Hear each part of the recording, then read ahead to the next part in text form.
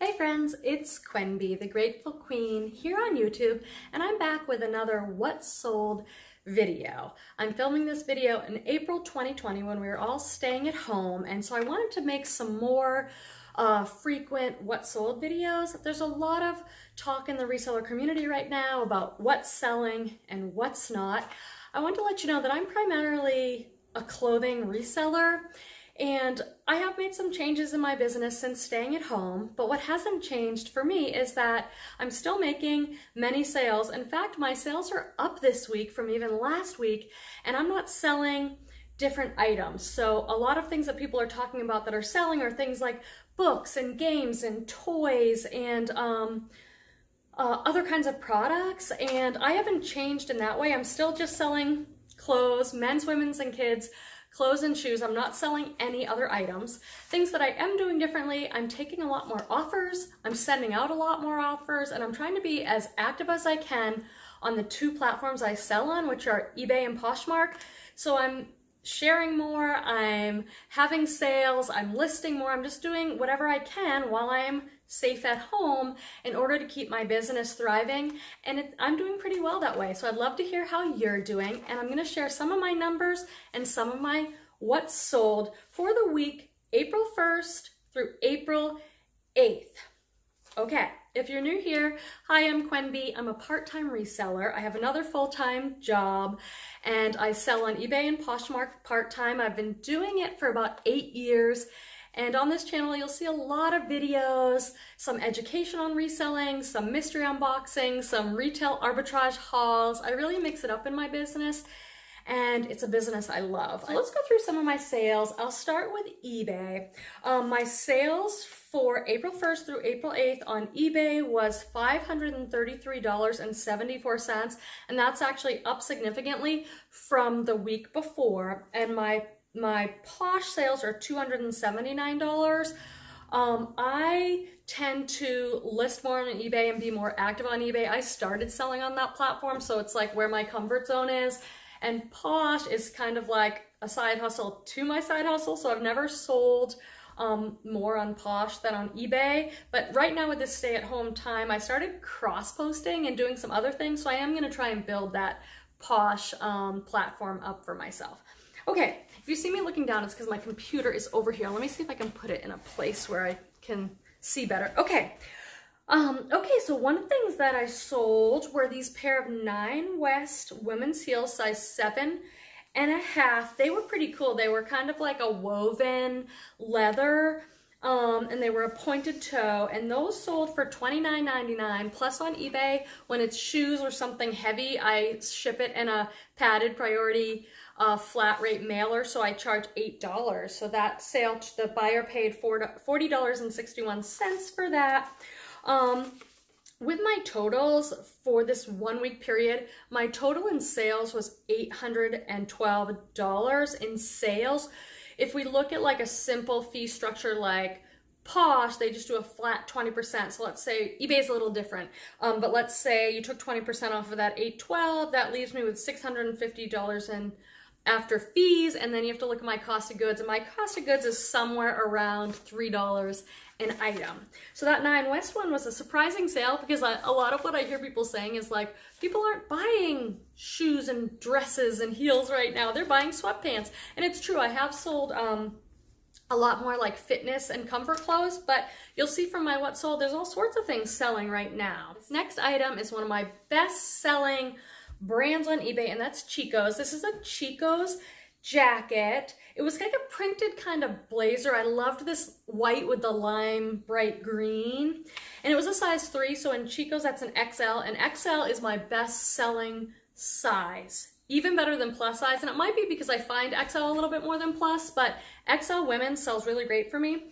Um, this I got at a yard sale for $3. I love yard sale shopping. I cannot wait for yard sale season. I hope we have a yard sale season this year with everything going on with stay at home. But um, I can usually remember the yard sale that I bought something at. Do you guys have that? And I remember the woman I bought this from, she had the coolest like um, silver frog brooch on and she had some cool items. I got this for three bucks and it sold For 18, I sent out a best offer. I'm sending out a lot of offers on eBay and Posh, and I'm accepting lower offers than usual.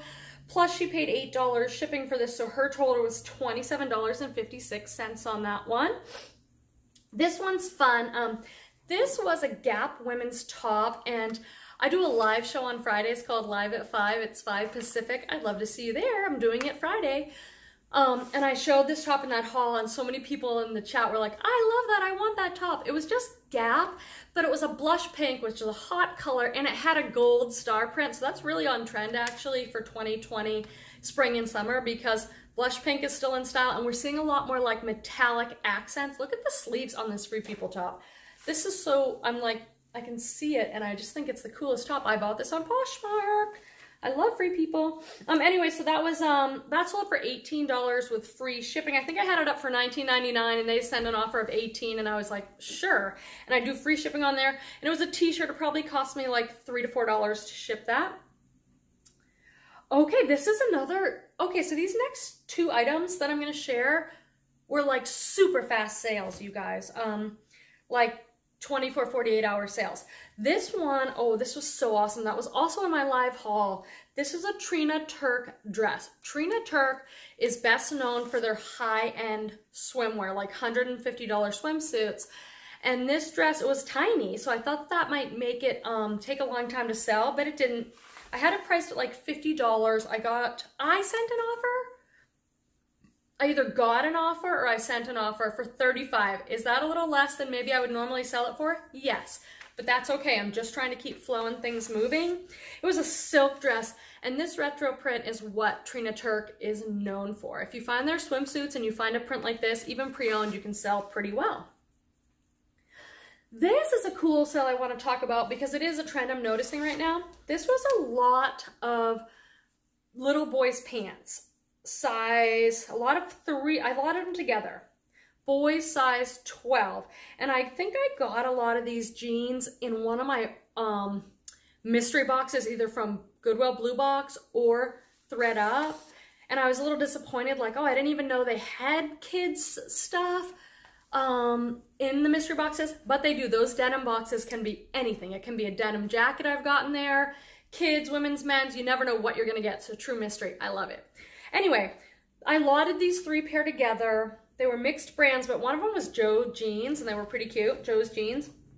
And um, I sold the three pair for $24.99, plus I paid $8 shipping, and I was able to get it, squish it into that padded flat rate envelope. Do you guys ever do that? It's like, oh, it's going in there, because that's like the best deal. Um, so that was a pretty good sale, and it went to international. So I do use the um, eBay's global shipping program, and so it, I ship it through the global shipping plan. I think it's like to Kentucky and then they send it on. There's no cost to me. I love that global shipping program. Do you think Posh is going to get something like that eventually, you guys? That'd be awesome. I didn't subscribe to Grateful Queen, so I had bad luck. I only made a little bit of money. I had super bad luck. Now I did subscribe to Grateful Queen, so I had great luck. I can reach when I was just a child. I was able to afford ruby and diamond bracelets. And I had the best luck ever. I won the soccer game. I had so much money. Next item is what I would I called a Lagen look item. That's how I listed. I have a video all about selling Lagen look online. Um, if you're not sure what that is, it means layered look. And this top was a tank top and it sold for $25. And um, that's awesome because right now, spring, I always start getting my summer stuff ready. So I want to have a lot of linen in my store. I want to have shorts and swimsuits and tank tops, but tank tops are not an item. They're not a substantial item. They don't sell for that much. So I'm always looking for tank tops that I can get around $20 for, which is kind of hard to do. This one was not a brand I was familiar with, but it was new with tags. I got it at a thrift store a while ago. Um, the brand, I think, it just said Bella Amore Italy, so I think it was like a boutique brand, but 25 bucks for a tank top, I think is a pretty good flip. Okay, this is another sale I'll tell you guys about. So this is a brand to know, but maybe not necessarily this piece from the brand. You know how that is? Like certain brands have like really good pieces within the brand. So the brand on this is CP Shades, and this is a women's top. Um, CP Shades is an awesome brand, another kind of artsy Lagen look brand, and I've sold, you know, things more like in the $40 range pretty quickly. This piece sold for um 28 which i guess is actually still pretty good plus they paid eight dollars shipping so their total on ebay was 36 dollars so i guess that is kind of a good amount to pay for a simple pop over top like this i just personally didn't think this top was that attractive it was sort of like a faded green and it was sort of um like textured it had a collar i just didn't think it was a very attractive piece from the brand but it still sold pretty well. Okay, let's talk about a few Poshmark sales. Let me get my computer over here. How are your sales going and what's happening for you? I've heard so many different things um, from different resellers. So um, how is it going for you? I'd love to hear. Okay, Poshmark. Okay. So here's another um, bundle that I sold. Uh, well, it wasn't a bundle, it was one sale, but I bundled up some boys shorts. So these sold for $18 it was five um, pairs of boys shorts, size six, seven. These were my son's. He hates wearing shorts for some reason. I have had in my death pile, money pile, smile pile, I have had two huge tubs of kids clothes and I'm like, I'm gonna go through these and I never wanna go through them because it's a little more work to like sort through, lot things together, um, for not that much return. But for five pairs of shorts, they paid, they sent me an offer on Poshmark. Um, I think I had them up for 25. They sent me an offer of 18. Plus you have to think that buyer has to pay $7 shipping and tax. So they probably paid a total of uh, $28, let's say, for five pairs of pre-owned shorts. And they were just brands like Old Navy. But I have sold some more um, kids clothes during the stay at home. I wonder why that is. This next sale is one of my favorite brands to sell on eBay, but it's sold on Posh. So I want to talk to you guys about that. This was a J. Jill size XL um, top. It was kind of like a white um, ivory color with some stripes. I bought it, I want to say I paid like five bucks for it too, and it sold for 20 on Posh, plus the buyer, buyer paid seven for shipping and tax. So they still paid like almost $30 for a pre-owned simple top from J. Jill. Um, but J. Jill sells really well for me on eBay. I usually was in the um, habit of putting Talbots, J. Jill, Style & Co., Chico's, all those kind of mature women's brand on eBay. And then separately, I would list all my trendy, um, younger fashions on Poshmark. That's why I've run my business for years. Well, recently, I finally got um, a cross-listing service. I got Vendoo, and it takes like two seconds. I cannot believe I waited so long. If you're on the fence, there are two cross-posting services that are well known right now, Vendoo and List Perfectly. My friend Denali just said that she likes Vendoo, so I went with that. It is so simple. I can't believe I waited this long. It was just another thing on my list that I couldn't get to as a part-time reseller.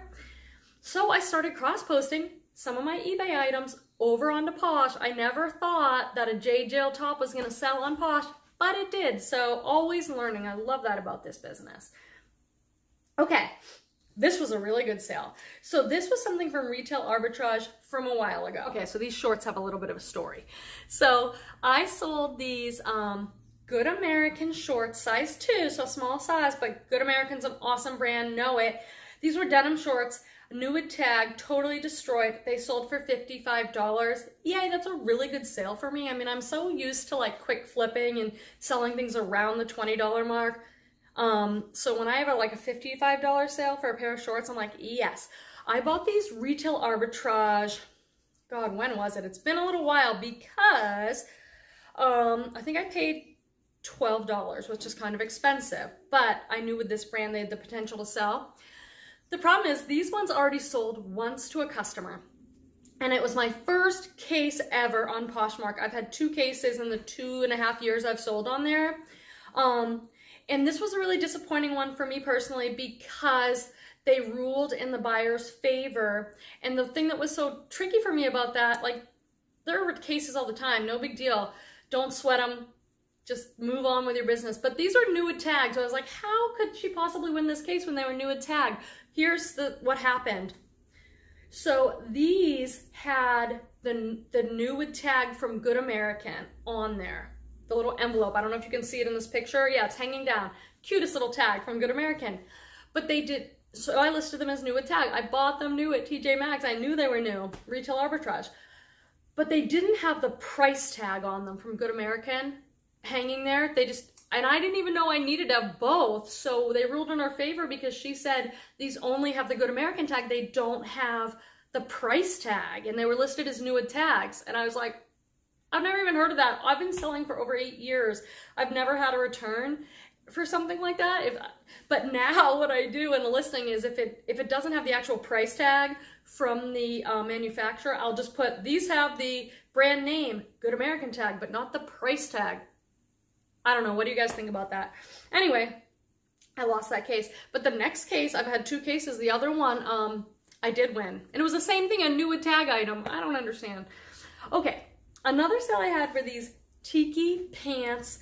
Um, Teeki is such a cute brand. I recently sold another pair of Teeki that had rainbows and hearts all over them. They do prints that are really cute. These I sold for 20 bucks, a little low, but um, another thing that I had listed on eBay and then I moved it over to Posh. I love this cross-posted thing. I'm so excited about it. Um, anyway, they were size extra small. I think I was hoping for more like 25 or 30, but 20 plus they paid $7 shipping plus tax. They're paying like almost $30 for a pre-owned pair of extra small leggings, but they were super cute. Blue, floral, like high-waisted legging kind of thing. Um, is an example of me taking much lower offers right now just to keep flow happening in my Poshmark closet. So this was a Free People dress. It was a size medium. Look how cute it was. It was mustard yellow. It had a little lace Peter Pan collar. I loved it. It had so many likers on it. Um, I forget how long I've had it listed, but probably like six months. I really thought it would sell. I had it up for 35, which I didn't think was that high. Again, tons of likers, but um, nobody bought it. So when she sent me an offer for $16, I was like, okay, she's paying 16 plus the seven shipping plus the tax. She's paying like 26 bucks. Okay, so I let it go for 16. I hope she loves it. I mean, it was such a cute style, I thought. Um, I don't know. What do you guys think? Would that be would that be a low ball offer or would that be like what you'd expect for a free people dress? Um, it wasn't new with tags or anything, so uh, pre-owned. I don't know. A little bit low, but I'm happy with the sale. I'm grateful for all sales right now, and I'm kind of of the mindset like I just like to th see things selling I, I usually say yes to most offers. Sometimes I'll counter if it's seriously low, but I really just like things flowing. And it's like, I make a few dollars less on the Free People dress, but then I sold the Good American shorts for 55, which was pretty great for that. I don't know. I, I kind of just think that it all balances out. How do you guys deal with that?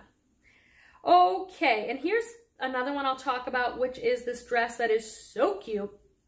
This was a dress by the brand Porridge, which I think is sometimes sold at Anthropologie and or ModCloth. And um, it was such a great print. I love this. And it sold really quick. It sold for $20 um, on an offer. I don't remember if I sent it out or she sent it to me. I'm sorry. I just can't even remember. Um, but it was a true wrap dress. So it had the actual tie waist and you could wrap it around. So it was adjustable. It was great colors, great print. I hope they love it because I loved it. I thought it was an amazing dress. So those are some of my sales for one week on eBay and Poshmark. I'd love to hear from you in the comments. How are your sales going? What do you think about these sales? Would you have taken some of these offers or not? Things are still selling. Um, I know this is a hard time for all of us. So if you're having days where you're feeling discouraged or disappointment, disappointed, me too. Like that's a true real thing and you just have to feel those things and then I hope what I'm trying to do for myself is just keep returning to my gratitudes trying to stay positive trying to see the blessings in some of this staying at home time I hope you're all doing well you're healthy and safe and your business is thriving I'll see you in the next video you guys bye make sure to like and subscribe. Hit it. Punch it